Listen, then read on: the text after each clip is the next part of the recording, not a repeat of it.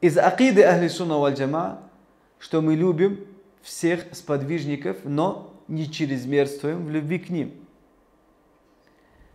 Мы любим тех, которые любят их, и уважаем тех, которые уважают их.